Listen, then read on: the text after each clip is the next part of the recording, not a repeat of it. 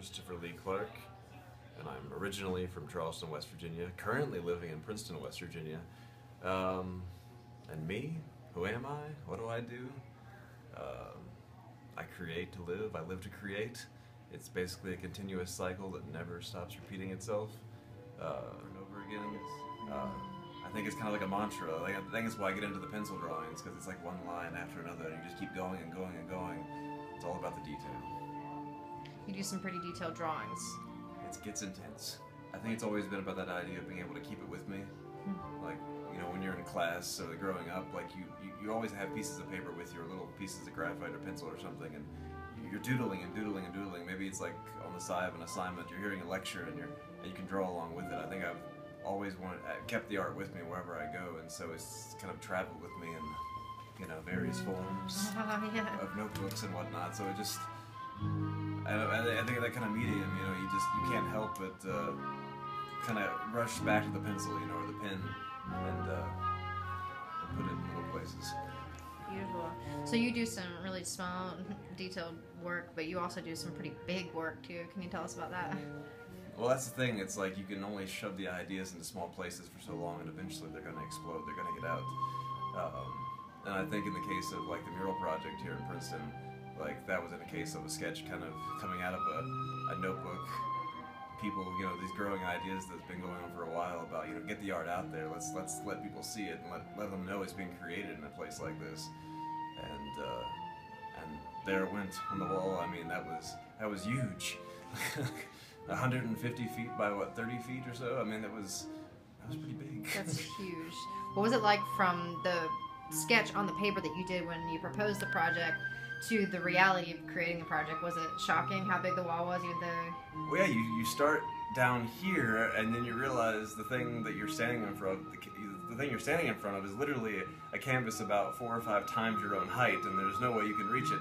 You're suddenly realizing that your arms can't go that far. You know, you're gonna have to get scaffolding. You're gonna get maybe some kind of weird device to, to throw you up in the air so you can, you know, do a line, fall down again, go up again. There was even, I think, one time I thought of rappelling off the side of the building down it to reach like the small nooks and crannies at the top. Um, but uh, but crazily enough, it's it's come together, and that sketch, in whatever weird way that it's like mutated over time, has like ended up on that wall, and uh, it's been interesting to get the ideas, you know, of other people. Like you know, again, in, in the case of this mural, you know, being the book mural, people had a real passion for the things they wanted to see on this wall, and then kind of starting to make compromises to be able to kind of bring in other people's loves, you know, to a wall that was I don't know. I, I- know between me and John John Terrell, who worked on the wall, like I mean, we already had an idea what we wanted it to be at one point, but then it's like this is a community community mural. You know, you, you wanted to start feeding some of that into it, and it's it's just crazy how it, it grew into what it became. Yeah, it was really cool.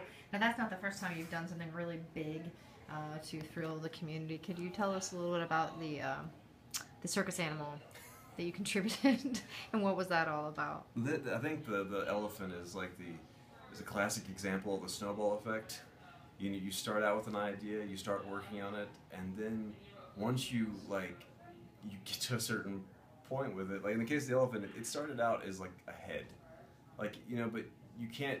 You find out later on that once you make an elephant head the size of an actual elephant head, people start to expect a body. Like it has to, it has to come. Like you know, and and then you get the body, and you're thinking, well, it can have leg, you can have a body without legs, and so you end up, you know, the legs, the tail, the trunk, and the tail, and it's it's all there. Like it gets, it's crazy. Well, in general, uh, I've been in and out of, uh, I guess, the theater my entire life, probably since like three or five to now. Um, I guess consistently at least one to like maybe one. I'm looking in weird places now. I try to do at least one play a year, even if it's not big. Uh, between here and Charleston, it's like been a consistent thing. Uh, um, but th- that's kind of fueled my you know passion to want to get involved with things like the Renaissance Project here, and how you know they're wanting to rebuild I, the, this theater that's just been sitting vacant for who knows how long. I mean, it, it's been. But, but honestly, I feel like in the state that it's been in in years past, it's just kind of become deader and deader, and I feel like it's finally going to come back to life. Um, and it'd be great to have a space like that in town, um, especially for you know smaller theater groups that want to come and bring shows here. You know, it's it's one thing to like have a place like the Chuck Mathena Center, which sure you could put on a, a small show there, but sometimes it just doesn't feel right, you know, for that kind of scale. And I think this will be perfect for lots of people who want to put on like one act shows and, and things like that. It's it's, it's going to be great. Well, well, the, the the odd thing about the tiles from the theater were that you know they they they passed them out to various artists. Each artist got to take a tile and kind of run with it with their own ideas. But you know, immediately I think there was a lot of conflict in that because you're